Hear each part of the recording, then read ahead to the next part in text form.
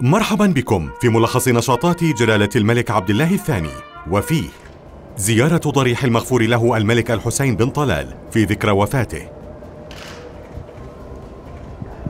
لقاء عدد من أسر شهداء القوات المسلحة والأجهزة الأمنية بحضور جلالة الملكة رانيا العبد الله.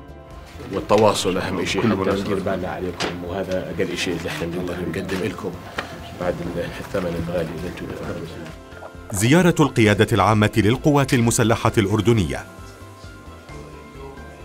لقاء عدد من الكتاب الصحفيين والإعلاميين.